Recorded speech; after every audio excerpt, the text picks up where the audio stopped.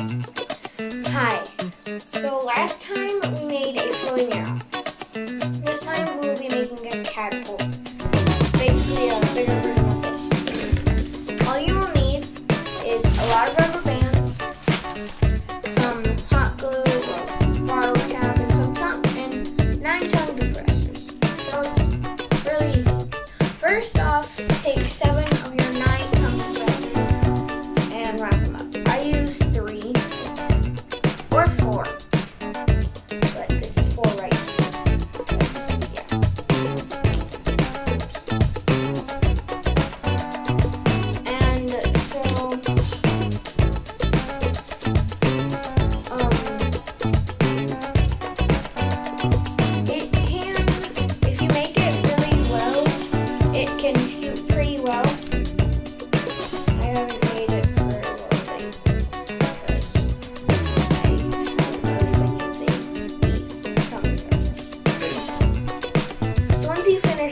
should look like this.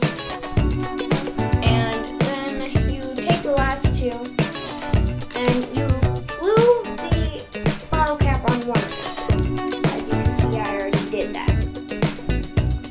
And um, make sure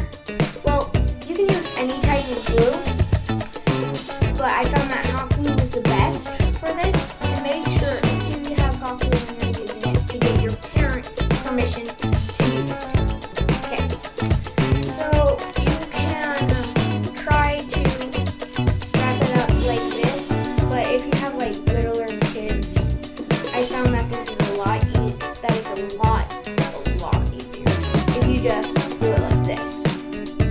Just take it off, put rubber bands on it,